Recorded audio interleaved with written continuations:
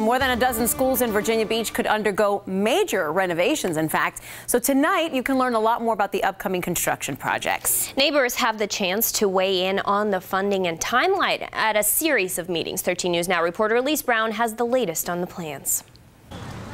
Virginia Beach school leaders want to hear from you. We're in the process of updating our long-range facilities plan that'll set the set the course for the next 15 years. Tony Arnold is the executive director of facilities in the district which has 82 schools. Over the past 20 years, he says the system has spent nearly $750 million replacing older schools. Now it's about looking ahead. The schools are are an economic engine here in Virginia Beach. 15 schools are up for modernization or replacement. That's based on physical condition, age, and type of building. The four high schools on the list are around 60 years old.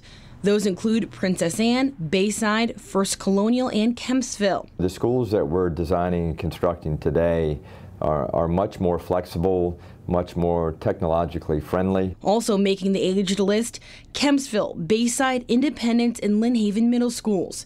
On the elementary side, Princess Anne, Bettie F. Williams, Holland, North Landing, Green Run, Fairfield, and White Oaks.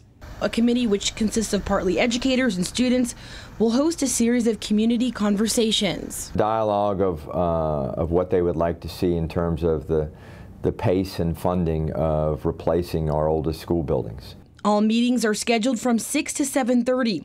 Tonight's location, the Old Donation School. Tomorrow, Tallwood High. Next week on the 14th, Kellam High School, and on the 15th, Great Neck Middle. Elise Brown, 13 News Now.